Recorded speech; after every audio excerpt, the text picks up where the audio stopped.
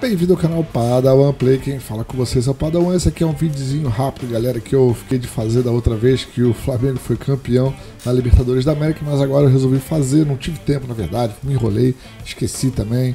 Queria fazer no dia, mas acabou que não deu tempo, fiquei enrolado. Eu queria ver os gols que não tinha visto que estava trabalhando no dia, foi um rolo, mas tudo bem. Tô fazendo agora esse vídeo aqui é, para homenagear, na verdade, o Flamengo. Eu não sou flamenguista, na verdade eu não tenho time nenhum, não torço para nenhum time, eu gosto só de ver o futebol arte. E eu acho que o Flamengo se reinventou esse ano. Eu vi uma breve retrospectiva falando que, é, se eu tiver errado, não sei, né? Pode ser que tenha visto errado, mas eu acho que não. Que o técnico Jesus entrou no meio do caminho aí, no meio do, dessa confusão toda, o Flamengo conseguiu se despontar, mas e o Flamengo conseguiu ficar muito à frente de todos os outros colocados no Brasileirão. Depois ele foi para Libertadores, ele conseguiu também se reinventar, se recriar e fazer bonito mais uma vez e jogou com muita raça, tendo um elenco muito bom, um time de atacante realmente pelos gols que eu vi, muito bom. Eu acho que se eu vi dois ou três jogos, não, todo eu não vi nenhum, com certeza. Era nos dias que estava sempre ocupado e eu não consegui ver. Mas teve alguns dias que eu vi o finalzinho, vi metade, os gols eu sempre via, eu vejo aqui na internet. Mas o negócio é o seguinte, eu queria primeiro dar os parabéns aí para os flamenguistas, especialmente para o time do Flamengo, né? Porque conseguiram um feito muito grande, né? Eles conseguiram chegar na final do Mundial de Clubes. Foi impressionante, realmente, é um feito. Não ganhou, mas ele tinha 50% de chance de se dar bem e 50% de chance de se dar mal. É a vida, não tem jeito. O outro time foi melhor do que eles, apesar que o Flamengo eu também não vi, eu estava trabalhando no dia. Eu vi, se eu vi 5 minutinhos ou 10 minutinhos foi muito, e eu vi que o Flamengo jogou de igual para igual. Mas por que eu estou fazendo esse vídeo? Primeiro para, para parabenizá-los para dizer o seguinte: a gente precisa mudar um pouco a cultura do esporte no Brasil. Aí você fala assim: ah, porque futebol é paixão no Brasil, não é isso? Então, na Europa, futebol é paixão? Ele é paixão para alguns, mas a maioria das vezes futebol é dinheiro. No Brasil também dinheiro também é, mas o problema é o seguinte: quem joga nos times não pode pensar que os jogadores né, não podem pensar que eles estão jogando ali por paixão, não, eles estão jogando ali por dinheiro.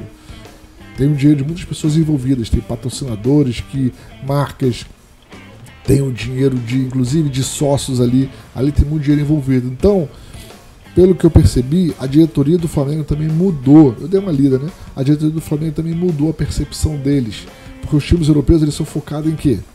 Treino, é, estudos de como melhorar as técnicas, as táticas, é tudo baseado em física, química, melhorar sempre a habilidade, do, habilidade dos jogadores, não, que às vezes isso é inerente ao jogador, né? mas às vezes dá para você melhorar também. Você melhora a alimentação, você melhora a vida do cara, você melhora a, a parte técnica, a parte tática, a parte emocional. Tudo isso é um trabalho conjunto para quê? Para dar mais resultados ao Flamengo. E o Flamengo realmente, o Flamengo, aos times de futebol, no caso, os europeus pensam assim. E o Flamengo resolveu agir mais ou menos dessa forma, né? Não tanto, mas ele mudou um pouco a forma de fazer futebol, podemos dizer assim. Menos paixão e mais inteligência, inteligência emocional, poderíamos chamar. Colocou tudo em prática, todas as formas de estudo, tudo que você podia aplicar para melhor rendimento dos jogadores, eles resolveram colocar em prática dentro do campo e fora do campo principalmente, porque o jogo só tem 90 minutos, mas o cara fica treinando uma semana às vezes, duas semanas às vezes. Fica e tem gente estudando formas de melhorar a vida do jogador, melhorar por onde ele deve jogar, inclusive melhorar por onde ele joga melhor. O cara fala, olha, eu acho que pela esquerda você não joga muito bem, você joga bem, mas você inclusive rende mais quando você está pelo meio, pela direita. Tudo isso é estudo, é técnica, é tecnologia, é conhecimento Estudo, estudo, estudo e preparo. O futebol brasileiro, acho que não só o futebol, é que eu estou falando agora do futebol e falando do Flamengo especificamente. Mas tudo que nós façamos, se a gente usar esse lado primeiro para depois ir para a prática, sempre nós vamos ter um rendimento melhor. Uma coisa que nós podemos ver que está começando a melhorar são também os esportes. No Brasil a gente está muito amador ainda nisso, né? É, precisa de um pouco mais evoluir nessa questão dos esportes. Mas agora está chegando o futebol. Talvez com esse novo empenho do Flamengo em mudar a forma de fazer futebol, talvez os outros times também falem: é, realmente precisamos mudar, porque desse jeito aí não dá para continuar. E começar a fazer uma aplicação, em vez de paixão, mais técnica, conhecimento, mais tecnológico. Mais uma vez, parabéns ao Flamengo. Não ganhou, mas chegou lá.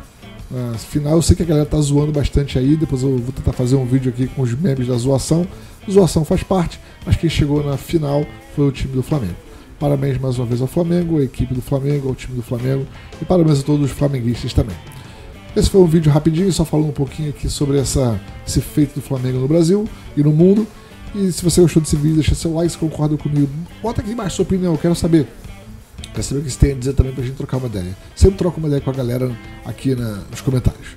Mais uma vez agradeço a sua audiência, um abraço, me siga nas redes sociais, até o próximo vídeo, valeu eu fui!